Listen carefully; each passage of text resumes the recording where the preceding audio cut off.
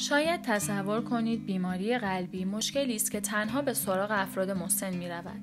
اما امروزه حمله قلبی در میان جوانان رایج بوده و رو به افزایش است.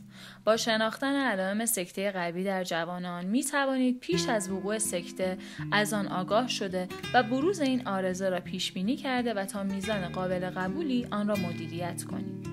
برخی از شایعترین علائم سکته قلبی در جوانان شامل این موارد می باشد. درد در قفسه سینه یکی از شایعترین علائم حمله قلبی احساس درد و ناراحتی در قفسه سینه می باشد.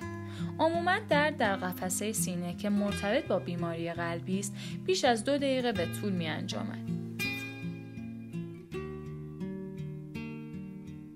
مشکلات مربوط به معده مشکلات گوارشی همچون احساس تهوع بدون دلیل مشخص سوء حازمه، سوزش سر دل یا احساس درد در معده می تواند به دلیل مشکلات قلبی باشد. از دیگر علائم ناراحتی قلبی می توان به موارد زیر اشاره کرد.